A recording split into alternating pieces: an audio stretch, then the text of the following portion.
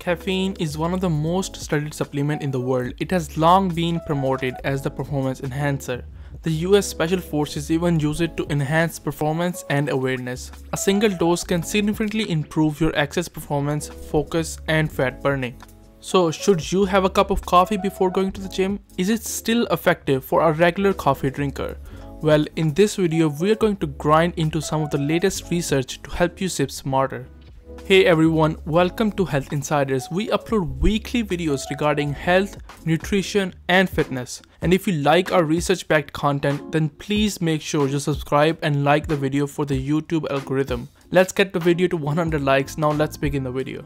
Let's first look at how exactly does coffee work in your body and then we will dive into the different ways that coffee can boost your workout performance. So basically, when you drink a cup of coffee or whip a mug full of matcha, caffeine goes straight to your brain where it can specifically block various receptors. By blocking these A1 receptors, it can prevent sleepiness and increase endurance. And by blocking the A2A receptors, it can increase your focus and power by increasing the levels of dopamine and epinephrine as known as adrenaline. So what are the ways through which caffeine can boost your workout performance?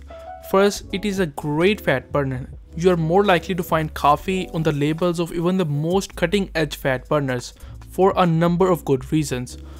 First, because of its effects on brain receptors, caffeine can help you exercise harder for a longer period of time, which helps you burn more calories.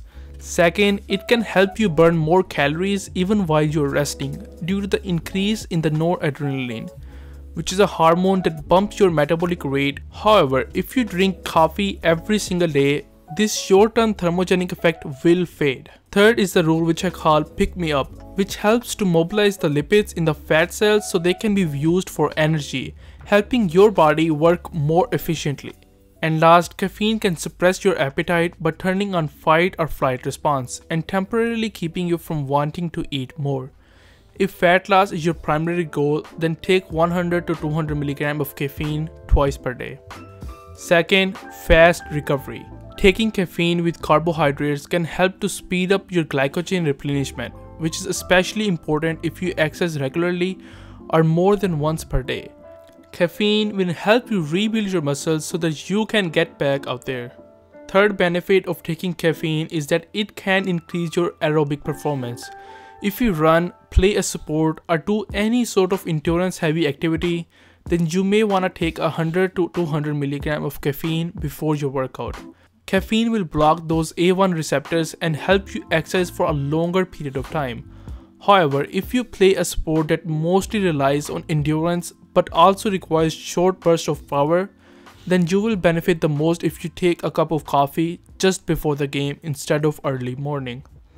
And last, it can enhance your anaerobic performance as well.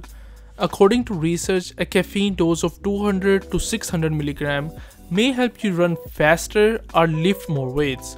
However, this effect is minor and it fades away with the frequent intake of caffeine.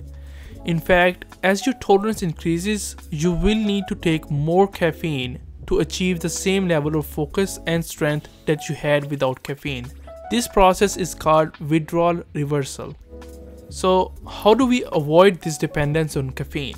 Some people can build up tolerance in a few days and for others it may take up to a week.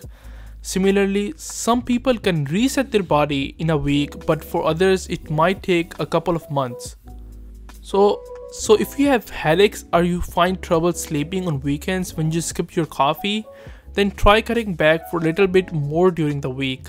A good way to test your tolerance would be by taking at least 2 weeks off from caffeine and then getting back into it by starting with a small dose of around 50 to 200 mg.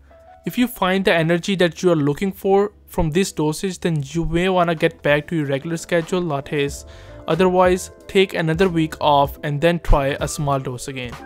And lastly, let's look at when to cut back on caffeine. Just like any other stimulant, caffeine in coffee can also cause some danger. Keep track of how many cups of coffee, teas, sport drinks, and sodas you consume each day, because they all have caffeine in them to some extent. Also, consider the supplements you are taking, especially any pre-workout mixes which typically contains caffeine. Most people should avoid consuming more than 600 mg of caffeine in a single day. If you want to learn more about the supplements that you should be taking while going to the gym, then check out this video in the link above. Alright guys, that is all for this week's video. Thank you so much for watching. Please don't forget to hit the like button and subscribe to the channel.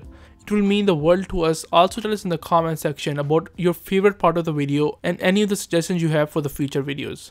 I love reading your comments and respond to every single comment from you guys.